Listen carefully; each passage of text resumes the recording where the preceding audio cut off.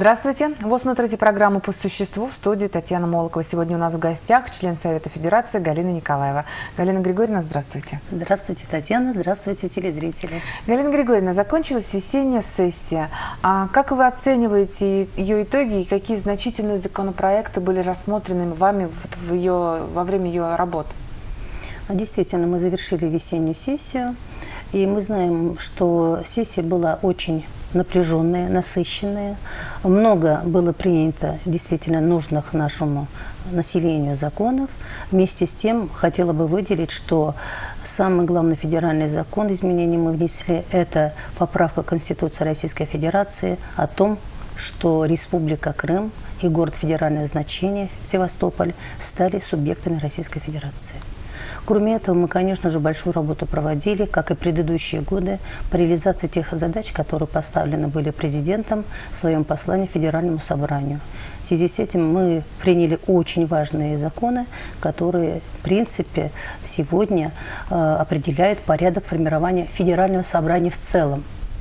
Э, на последнем заседании мы приняли решение о порядке формирования Совета Федерации. Это касается президентской квоты – а предыдущий был закон принят о выборах депутатов Государственного дома, и мы знаем, что в перспективе выборы Государственного дома будут проводиться по смешанной системе.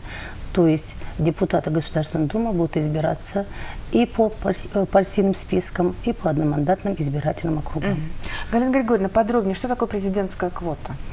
А, президентская квота, эта инициатива возникла от депутатов Государственной Думы. Порядка 90 человек внесли предложение с тем, чтобы в Федеральном собрании, Палате регионов были представители федерального центра. И мы знаем о том, что 10% от нашего состава постоянного представителей регионов, от 170 э, сенаторских мест, до 10%, 17 человек могут быть президентом э, назначены для работы в составе Совета Федерации. Но это не означает о том, что вот буквально в сентябре в Совет Федерации появится ровно 17 человек, все президентские посланцы, и мы будем работать уже в таком составе 170 сенаторов и 17 представителей президента Российской Федерации. Мы считаем, что Совет Федерации – это постоянно обновляющийся, э, скажем, сегодня наш э, орган Федерального собрания, который зависимости от движения, от выборов, которые происходят в регионах, постоянно обновляется. Мы знаем, что в этом году в 33 регионах проходят выборы глав субъектов. И есть у нас 16 регионов, которые проходят выборы законодательной собрания. И надо понимать, что вот в сентябре месяце после выборов, которые состоятся во всех регионах, мы должны будем ожидать новый приход новых членов Совета Федерации, Совет Федерации. Это могут быть и представители э, от руководителей органов исполнительной власти, а также от законодательных органов власти. Некая ротация. Да. Будет. Возможно, будет, конечно же, из числа самых известных, влиятельных представителей науки, культуры э, могут быть представлены э, еще и президентом Российской Федерации. Вы еще затронули вопрос о выборах в местные органы власти. Да. А и об общих, я сейчас знаю, что идут э, разговоры, э, консультации, совещания а, по поводу нового закона о принципах организации местного самоуправления. Да? Вот вы тоже это рассматривали? Да, Если... большая работа в течение вот предыдущего года, этого года а, по инициативе Всероссийского местного самоуправления, по инициативе местных администраций депутатского корпуса проводилась по подготовке изменений законодательства о местном самоуправлении. Действительно мы считаем, что местное самоуправление – это самое близкое это представительство власти для нашего населения. Поэтому уже, конечно же, нам надо было учесть все предложения, которые были по принципам формирования органов местного управления.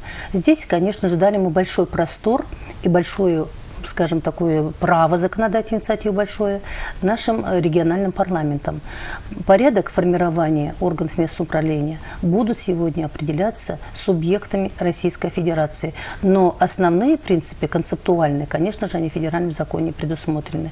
В частности, мы хотели сказать о том, что сегодня мы имеем возможность на муниципальных выборах в избирательном бюллетене увидеть норму, значит, э, графу против всех Мы же знали о том, что э, не все избиратели поддерживают те списки зарегистрированных кандидатов, которые идут на выборы.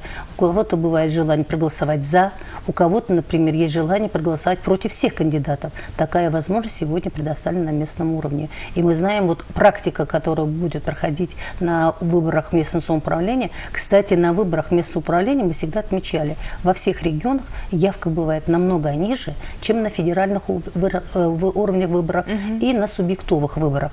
Поэтому вот эта практика нам покажет, если действительно сегодня вот каждый наш избиратель хочет волеизъявление свое проявить, прийти на выборы, если графа против всех им позволит, например, дать такую возможность поучаствовать в выборах, то мы, конечно же, будем работать над тем, чтобы и на региональных выборах, и на федеральных выборах в перспективе эта норма была введена.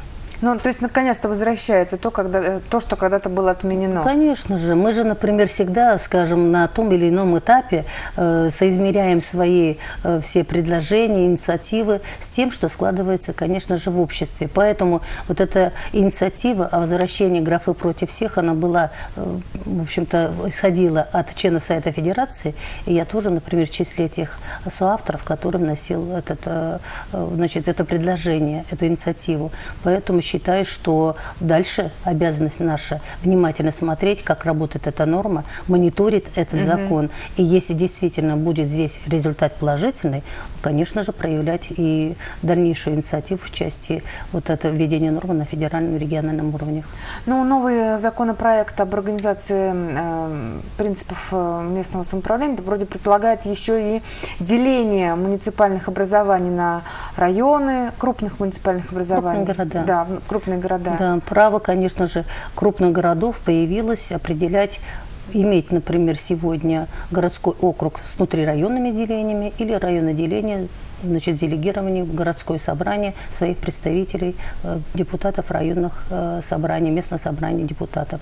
Но в этом случае опять мы учли предложение территории и дали это на рассмотрение субъектов Российской, Российской Федерации. Поэтому, исходя из практики, исходя из пожеланий, исходя из предложений местных администраций, конечно же, будет этот закон приниматься. Я думаю, что и на нашей территории Чувашской Республики будут э, изучаться этот вопрос. Э, те ли нормы, которые действовали, нам нужно сохранить или изменить другие. Но в частности, я очень много слышу предложений, такие, чтобы глав сельских поселений не выбирать, а назначать из числа депутатов угу. сельских это поселенческих собраний, потому что производить выборы постоянно, и с этим мы сталкиваемся, вот даже за последние пять лет, э, вот в текущие, я вижу, как одни и те же сельские поселения постоянно остаются без главы. Там появляется исполняющий обязанности главы, и снова объявляются выборы. Вот сложно, это постоянный найти, процесс да. избирательный по выборам глав сельского поселения, это, конечно, очень трудоемкий процесс.